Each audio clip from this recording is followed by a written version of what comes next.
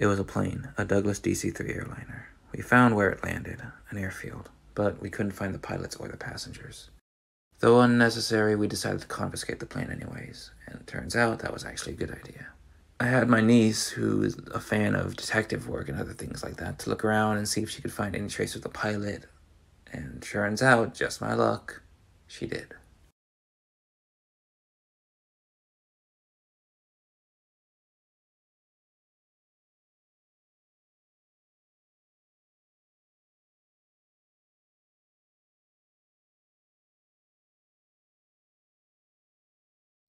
Well, care to tell me what you're up to, partner?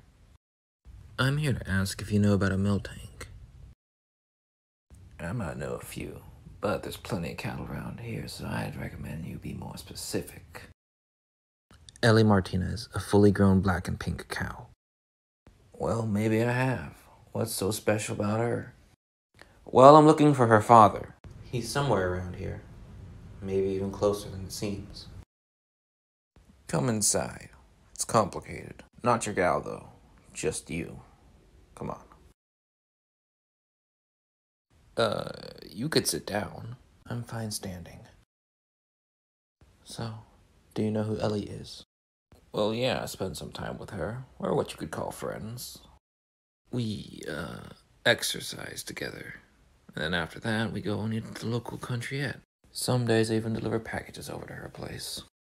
That's really all we do together. She never mentions anything about her father, but I should probably mention that I'm technically her father, adoptive.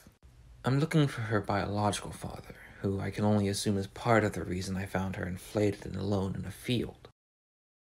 I doubt it was you, though. We searched the plane and found only traces of Miltanks, and you obviously aren't a Miltank, so.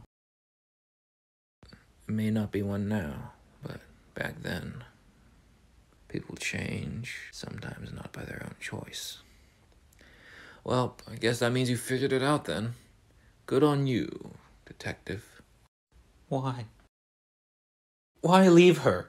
What did you think would happen? You think I didn't try? That I just gave up and left her? You saw the plane we used. How was I supposed to land? Every night. Every night after that, I couldn't sleep.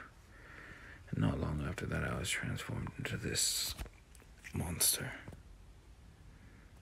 Well, Ellie doesn't see you as one.